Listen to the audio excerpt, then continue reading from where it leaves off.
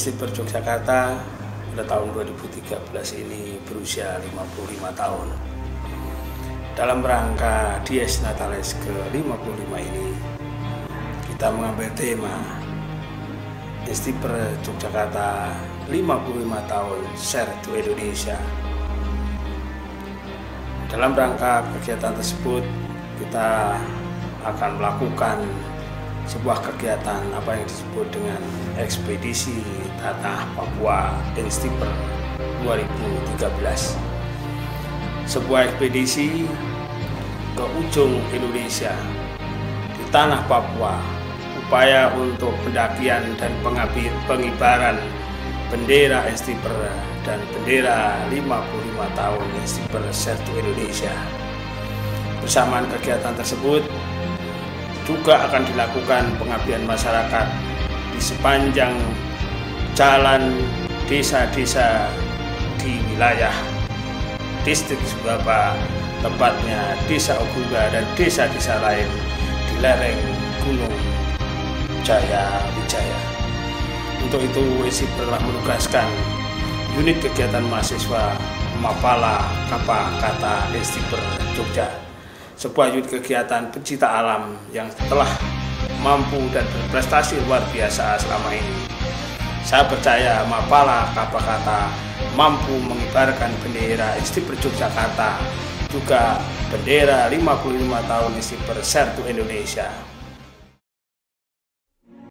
Tahun 2013, Instiper Yogyakarta genap berusia 55 tahun dalam perayaan ulang tahun yang ke-55 akan diperingati dengan serangkaian kegiatan yang dikemas dalam konsep Instiper 55 tahun Share to Indonesia. Salah satu kegiatan besarnya adalah ekspedisi Tanah Papua Instiper 2013. Dalam ekspedisi ini Misi yang akan dicapai adalah pengibaran bendera 55 tahun Instipe Share to Indonesia di puncak Karsten Spirang dan puncak Sumantri. Selain akan melakukan pendakian ke puncak Karsten Spirang dan puncak Sumantri, tim akan melakukan penelitian dan pengabdian masyarakat terkait dengan bidang pendidikan, kesehatan, dan pertanian. Pendakian akan dilakukan oleh tim pertama, yaitu Peter Ardiansyah, Asrul Arifin Nasution, Surya Nimrod Sipa, dan Rahmat Ismail Nasution. Sedangkan tim kedua yang beranggotakan Tri Hartanto, Anton Yusnadi, dan Mikdarul Akmal akan melakukan penelitian dan pengabdian masyarakat di Desa Uglimba, Distrik Sugapa, Kabupaten Intan Jaya. Ekspedisi dimulai dengan persiapan atlet baik secara fisik, mental maupun materi. Hal ini dimaksudkan untuk mempersiapkan segala kemungkinan yang akan terjadi ketika nanti melakukan pendakian di Karstens Pyramid yang memiliki jalur yang cukup sulit untuk dilalui.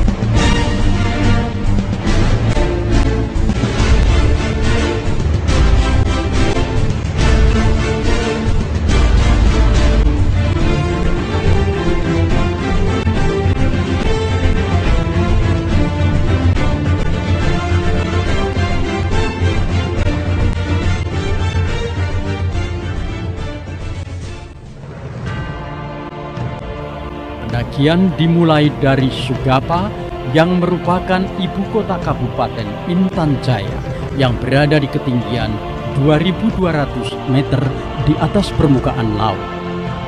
Jalur yang panjang menjadi tantangan tersendiri bagi tim pendaki karena jalur yang dilalui via Ugimba akan memakan waktu 5 sampai 7 hari untuk sampai ke base camp di danau-danau dengan ketinggian 4330 meter di atas permukaan laut.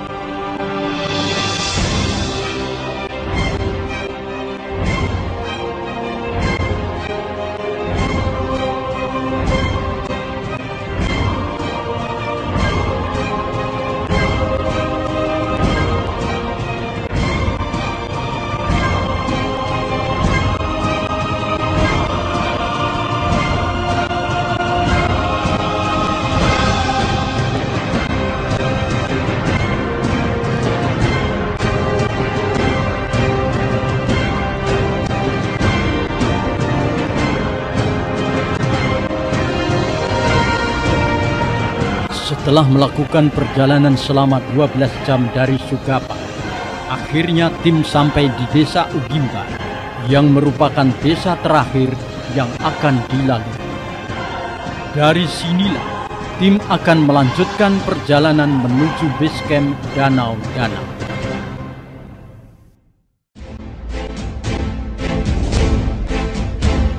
Hari berikutnya, perjalanan dimulai dengan berdoa kepada Tuhan Yang Maha Esa agar perjalanan tim pendaki dimudahkan dan tidak mendapatkan halangan yang berarti. Perjalanan yang cukup sulit harus dilalui oleh tim pendaki bersama 34 orang porter masyarakat asli Papua. Menyeberangi sungai, medan yang berlumpur, dan jalan setapak yang sangat terjal harus dilalui.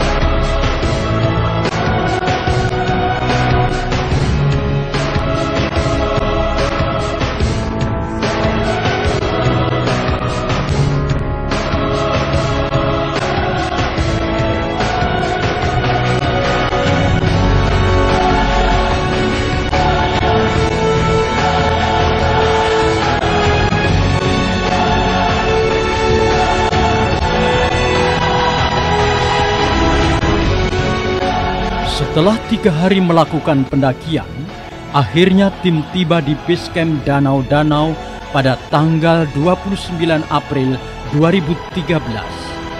Di Danau-Danau, tim akan melakukan aklimatisasi sembari melakukan pengecekan jalur ujung tali yang akan digunakan untuk mendaki ke puncak Karsten dan lidah es yang akan dilalui untuk mencapai puncak Sumantri. Ah, posisi aku sekarang di Grassberg. Oh, besok pagi anak-anak mulai bikin jalur. Aku akan turun ke Ugimba. Nah, di Ugimba hari Senin heli udah bisa ke heli sudah bisa ke Ugimba. Jadi aman. Barang kita itu Senin akan terdistribusi ke Ugimba.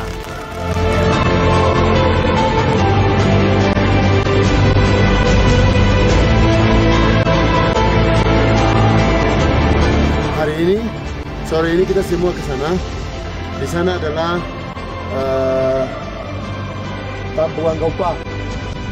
Kita ke sana itu, nanti kita lihat jalur tembus di Danau Lason. Danau Lason jalur ini saya sudah lewat dua kali dan kami sudah lewat di bawah itu ada Goa Maximus. Nanti kita potong. Nah, setelah potong, kita bagus, kita kembali dari ekspedisi ini kita kasih nama. Kalian punya nama masuk, saya punya nama masuk, tim yang masyarakat Gimba punya nama masuk, kita kasih nama.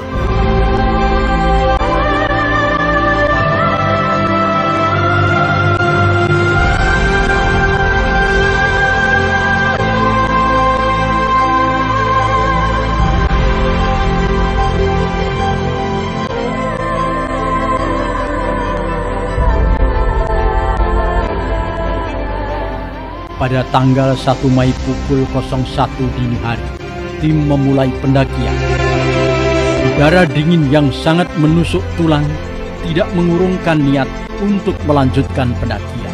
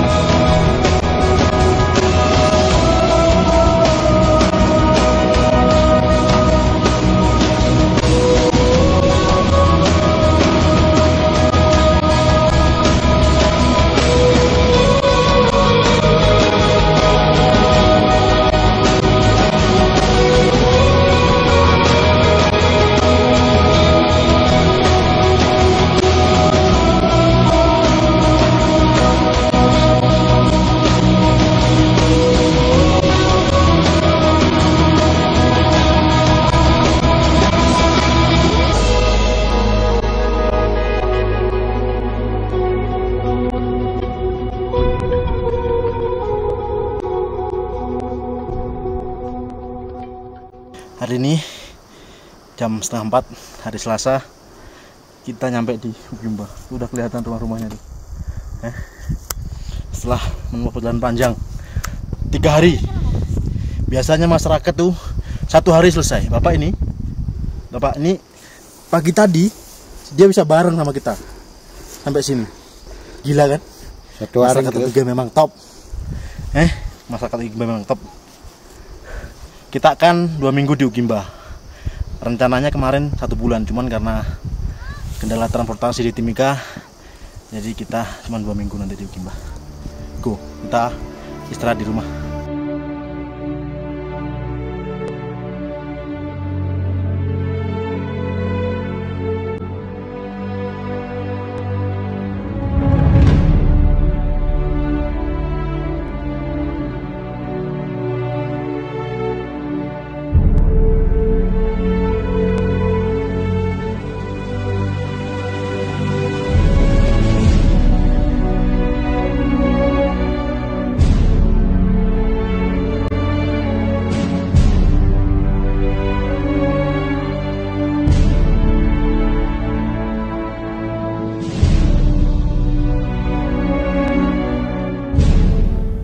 Pendakian ke puncak Karstens dilakukan dengan teknik khusus mendaki dengan tali.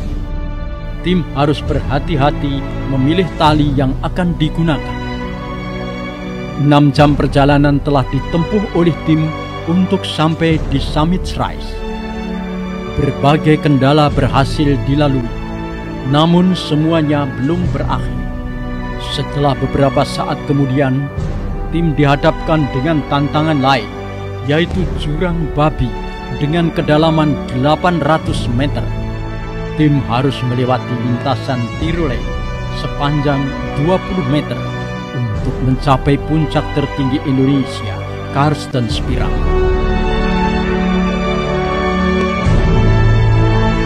Akhirnya dengan tekad yang kuat untuk mengharumkan nama alma mater, tepat pukul 11 waktu Indonesia Timur, empat orang mahasiswa Instiper berhasil menginjakkan kaki di puncak tertinggi di Indonesia.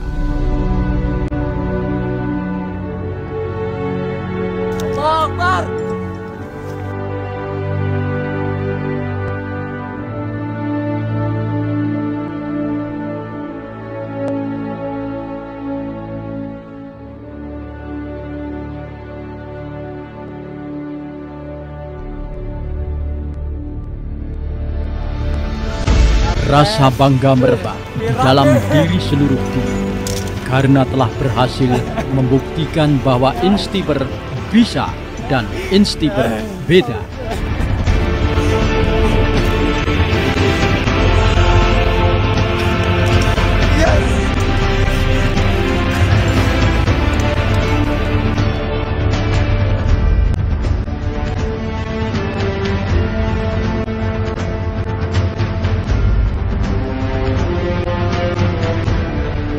Dengan tekad dan semangat pantang menyerah, akhirnya bendera Enstiper berkibar di puncak tertinggi dataran Australia dan Oceania.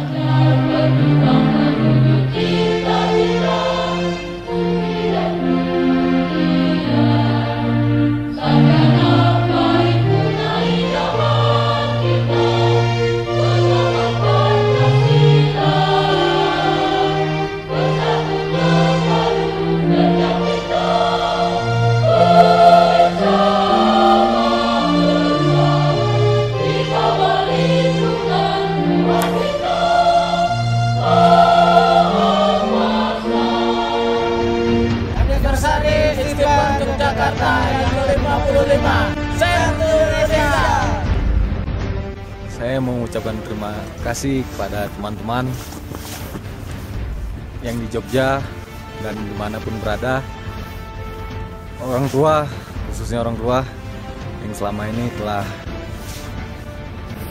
banyak memberi saya dukungan apa pun itu apa kata dan semuanya yang saya banggakan. Terima kasih semuanya. Makasih buat Bapak, semua saudara semua di kampung keponakan-keponakan. Ya itu saya. Terima kasih. Untuk bapak sama mama eh, mungkin ini sedikit prestasi yang belum bisa membanggakan buat kalian tapi percayalah walaupun telat apa pun itu eh, ijazah satu pasti awak bawakan buat mama sama bapak. Tenang saja. Ini prestasi yang kecil tapi mudah-mudahan bisa membanggakan buat mama sama bapak terima kasih buat semuanya buat kata-kata love you forever dah buat Instiper, buat semuanya yang membantu dan mendukung. Cayo, ini puncak Kartens, puncak tertinggi di Indonesia. Hidup Indonesia, hidup Papua. sekarang eh, mimpi rasanya duduk di puncak tertinggi di Indonesia untuk teman-teman kepala kapal kata baik anggota purna anggota tetap dan siapa pun simpatisan semuanya terima kasih untuk dukungannya. Saya tahu ini perjuangan yang berat. Saya tahu saya telah banyak berbuat kesalahan. Saya tahu saya banyak dapat pelajaran di sana. Terima kasih. Untuk orang tua saya di rumah. Saya tahu saya telat kuliah. Selesainya telat. Jadi saya tunjukkan kalau saya bisa mengukir prestasi. Saya berada di ujung Indonesia. Tidak ada orang yang bisa sampai sini hanya dengan membalikan telapak tangan. Semuanya kerja keras sampai di sini terima kasih untuk semua. Mendukung sekali lagi perjuangan ini belum berakhir. Kita akan lebih berjuang lebih keras lagi untuk apa kata lebih maju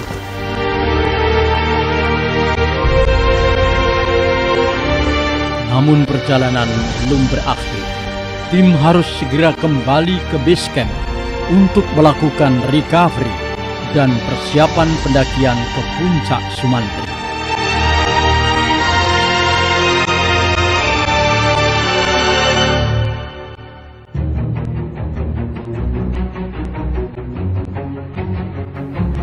Setelah beristirahat dan melakukan recovery, pada tanggal 2 Mei pukul 4 dini hari, tim melanjutkan perjalanan menuju puncak Sumantri yang berada di jajaran Pegunungan Jaya Wijaya. Pegunungan Jaya Wijaya merupakan satu-satunya puncak di Katulistiwa yang diselimuti es.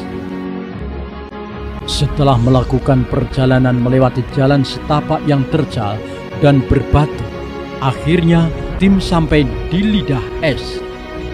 Dari sini tim harus melanjutkan perjalanan dengan menggunakan sepatu khusus pendakian gunung es atau sering disebut krempun. Selangkah demi selangkah, es di garis katulistiwa dilewati oleh tim. Saat tim melanjutkan perjalanan ke puncak Sumantri, berbagai kendala dihadapi, seperti kelelahan dan rasa khawatir akan adanya lubang es yang tersembunyi. Namun tim terus bergerak dengan sistem moving together untuk terus melanjutkan perjalanan mencapai puncak impian.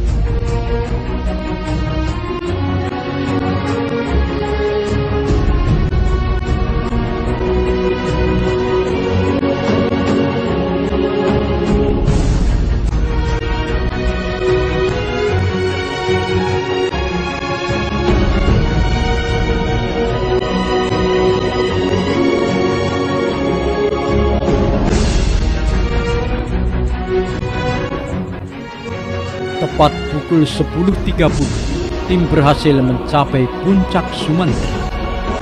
Keharuan dan rasa bangga kembali menyelimuti empat mahasiswa Instiper yang tidak mengenal lelah dan dengan penuh perjuangan untuk bisa mengibarkan bendera Indonesia, bendera Instiper, dan bendera 55 tahun Instiper Share to Indonesia.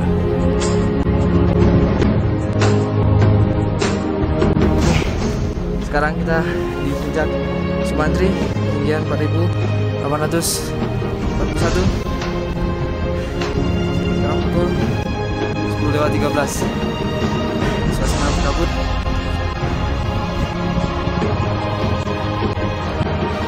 semangat. Hidup apa kata?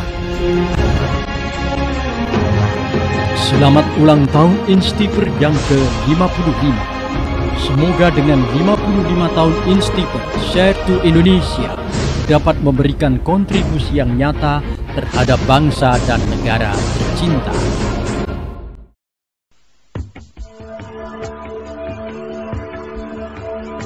Anniversary Sniper Yogyakarta yang ke-55 Share Indonesia Istiper memang beda Afiktam Samanta Bapada Selamat ulang tahun Mapala Kapakata. Yang ke-35. Uh, Kapakata Ekspor Indonesia. Oke. Hmm, harapannya mudah-mudahan ada gunung salju lagi yang bisa kita daki. Surga 35 tahun S Indonesia. Berikutnya kita ekspor negeri. Yo! Seluas tanah sebanyak batu adalah harta harapan. Kita mau cek ini siapa ya Pak I dosanya agak banyak gak? Biasanya dosanya banyak kalau di salju itu kotor Yo coba Tekan Angkat Nah Kotor kan? Halo, sekarang kita lagi di puncak Sumantri ini. Bre, nanti pesan es teh di sini aja. Ya. Nah, kita mau kasih salam-salam, kirim-kirim pesan dari ketinggian berapa ini ya? Lebih. Dan di sini saljunya benar-benar tinggi. Oke. Bre, eh aku makan es di sini coy. Esnya banyak, nanti mau pesan dari sini aja dari Papua. Ini es Indonesia ini bre Salju Indonesia ini mantap Oke, Mre, ini ya ini Sumantri. Ini untuk 35 tahun kata kata lah, Mre. Selamat lah. Sama terima kasih juga lah. Makasih atas kerja susah kalian yang di sana ya. Inilah perjuangan kami buat kalian juga. Perjuangan kita sama-sama. Ekspedisi Tanah Papua Estiper Yogyakarta 2013 telah terselenggara dengan sukses. Sebuah upaya pencapaian untuk pengibaran bendera Estiper Yogyakarta dan juga 55 tahun Estiper Set Indonesia di puncak tertinggi gunung di Indonesia yaitu puncak Karten Gunung Jaya Wijaya. Saya ucapkan terima kasih dan penghargaan secara khusus kepada Bapak Kapakata Estiper Yogyakarta. Juga ucapan terima kasih saya sampaikan kepada para alumni Estiper Yogyakarta, perusahaan mitra kerja, First Resources, Astra Agro Lestari terbuka, juga PT Smart terbuka. Terima kasih atas dukungan dan penyelenggaraan dari kegiatan ini. Jayalah Estiper Yogyakarta, jayalah perkebunan Indonesia.